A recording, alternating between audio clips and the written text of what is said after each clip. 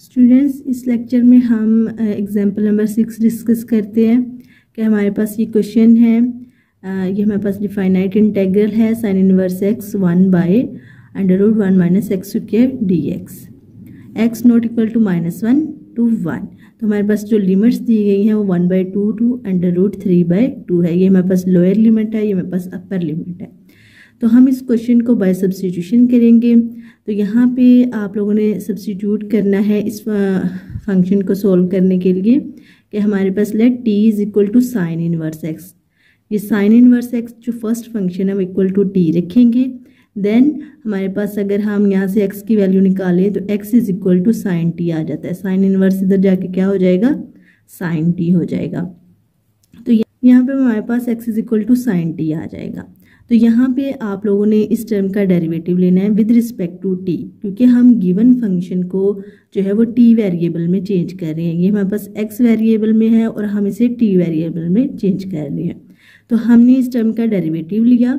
Taking derivative with respect to t तो हमारे पास d x is equal to cos t d t आ जाता है। ठीक है? तो यहाँ पे कोस टी हमें पता है कि हम one minus sine square t के इक्वल लिख सकते हैं।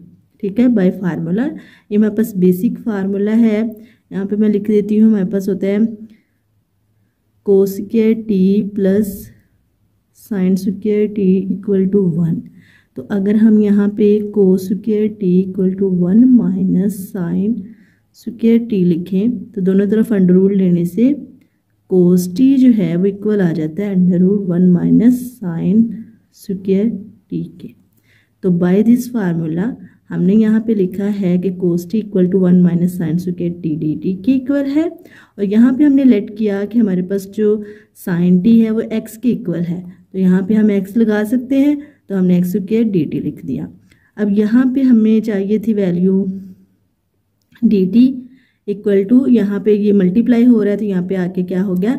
डिवाइड हो गया। यहाँ पे डिवाइड हुआ है। हम ये वाली टर्म लेके आए हैं क्योंकि हमें इस टर्म की जगह जो है वो सब्सटीट्यूट करना है डी टी को। फ़ंक्शन को जो है वो टी में अगर हमने चेंज किया है तो उसका डेरिवेटिव भी तो विद रिस्पेक्ट टू टी होगा ना।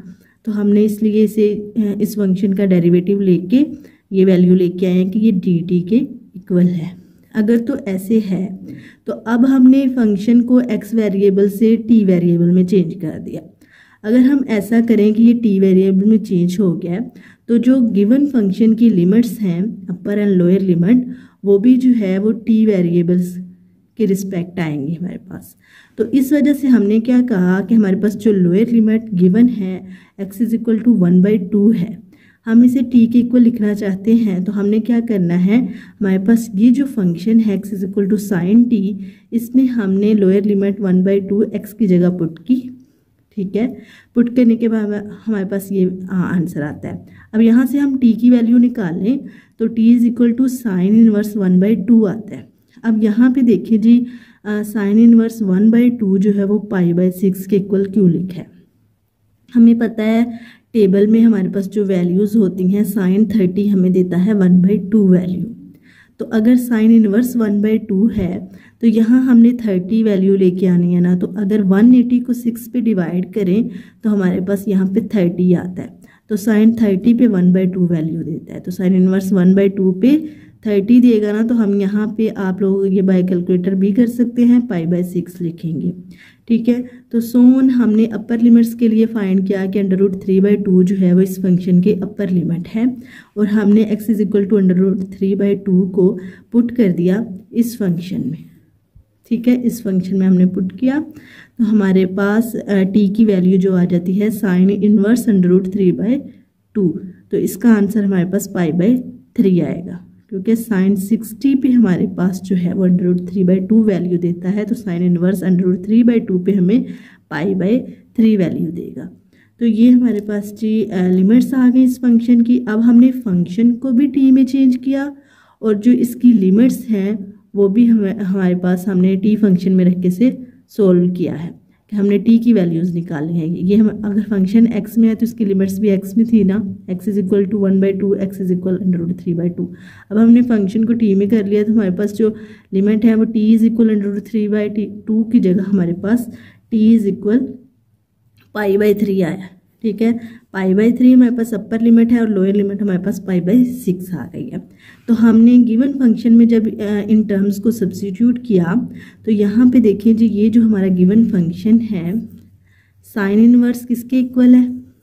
टी के इक्वल है। तो अगर हम साइन इनवर्स की एक्स की जगह टी रखेंगे तो ये टर्म किसके इक्वल आई है? डी टी के इक्वल आई है। तो हम इस टर्म की जगह डी टी रखेंगे। तो इंटेग्रल ये फ़ंक्शन जो है इस तरह सब्सिट्यूट होगा कि हमने ये वैल्यूज़ को इसमें सब्सिट्यूट कर दिया।